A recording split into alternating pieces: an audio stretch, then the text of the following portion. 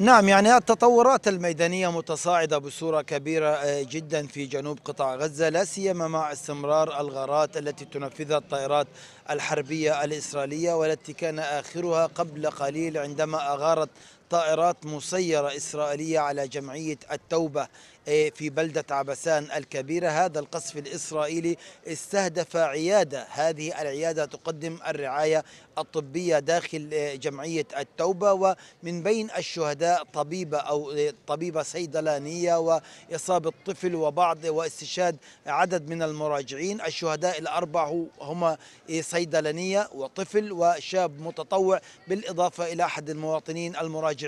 داخل هذه العيادة. هذه جريمة جديدة تضاف إلى سلسلة الجرائم التي تنفذها قوات الاحتلال الإسرائيلي. الاستهداف لعيادة طبية داخل جمعية التوبة دون سابق إنذار حيث كان عدد من المواطنين يتلقون العلاج داخل هذه العيادة في الدوام المسائي للعاملين والمتطوعين داخل هذه العيادة الخاصة أيضا ب يعني طب الأسنان في بلدة عبسان الكبيرة. وكانت هذه البلدة أيضا تعرضت طوال هذا اليوم إلى سلسلة من عمليات القصف المدفعي والغارات التي استهدفت أراضي زراعية دون أن تسفر عن وقوع إصابات جريمة جديدة تضاف إلى سلسلة الجرائم التي تستهدف المدنيين الفلسطينيين والتي كان من بينها أيضا استهداف خيمة للنازحين في منطقة المواصي غرب خان يونس. وهذه الغارة أيضا أدت إلى استشهاد ثلاثة من المواطنين من بينهم طفلة صغيرة لم تتعدى الست سنوات. هذا القصف الإسرائيلي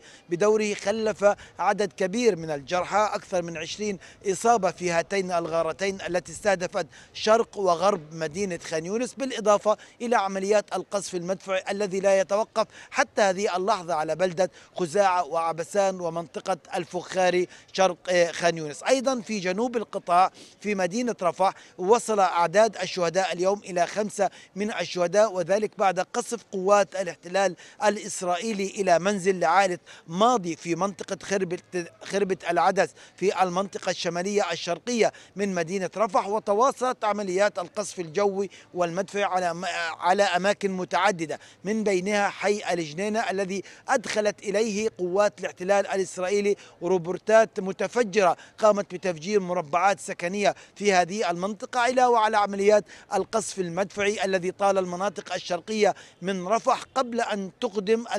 المدفعية الإسرائيلية والطائرات المسيرة على قصف